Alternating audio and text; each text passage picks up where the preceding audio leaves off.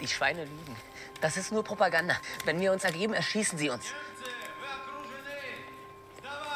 Der Führer hat versprochen, dass wir siegen werden. Wir haben immer noch Patronen. Wie können wir unseren Müttern in die Augen schauen, wenn wir uns freiwillig ergeben? Sei froh, wenn du deiner Mutter überhaupt noch in die Augen blicken kannst. Du, du bist ein altes, feiges Schwein.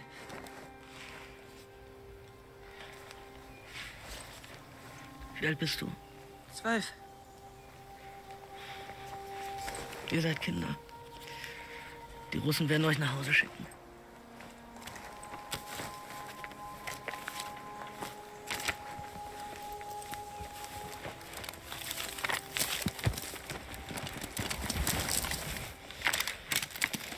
Schicken Sie das an die Adresse, die draufsteht.